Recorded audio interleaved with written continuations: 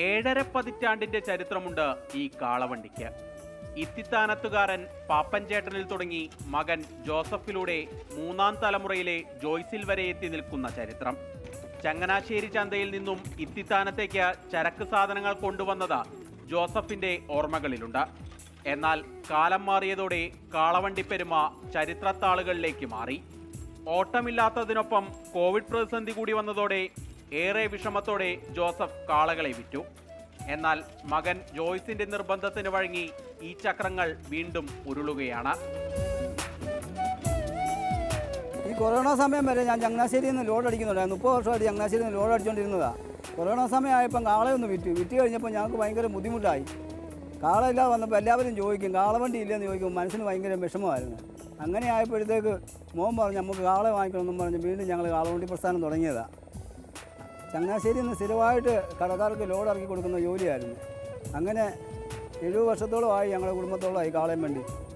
മോന്റെ താല്പര്യപ്രകാരം ഈ കാള രണ്ടും വാങ്ങിച്ചു. രണ്ട് വെള്ളക്കാള വേണമെന്നും പറഞ്ഞ് ഞങ്ങൾ പൊള്ളാച്ചിൽ നിന്ന് വാങ്ങിച്ചു ഈ വെള്ളക്കാള രണ്ടും കൂടെ. ഇത് ഓട്ട മത്സരത്തിലും പോകുന്ന കാളയായിരുന്നു.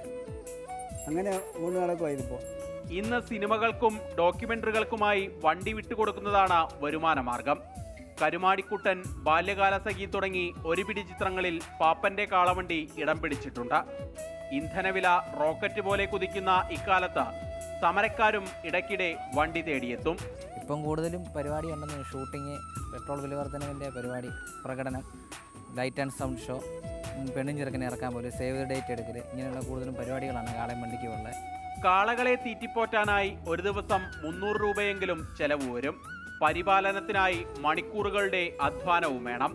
വണ്ടി പണിയാനറിയുന്ന ആശാരിമാർ ഈ നാട്ടിൽ ലഭ്യമല്ലാത്തതിനാൽ പാലക്കാട്ട് നിന്നും ആളെ വരുത്തിയാണ് അറ്റകുറ്റപ്പണികൾ നടത്തുന്നത്. കാളവണ്ടി ഒരു കൗതുകമായതുകൊണ്ട് സവാരിക്കായി വണ്ടി ബുക്ക് ചെയ്യുന്നവരുമുണ്ട്. കോവിഡിന് ശേഷം ടൂറിസം രംഗത്ത് പുതിയ സ്റ്റാർട്ടപ്പുകൾ വരുന്നതോടെ തങ്ങളുടെ കാളവണ്ടിക്ക് കൂടുതൽ അവസരങ്ങൾ ലഭിക്കുമെന്ന ആത്മവിശ്വാസത്തിലാണ് ജോയ്സും ജോസഫും.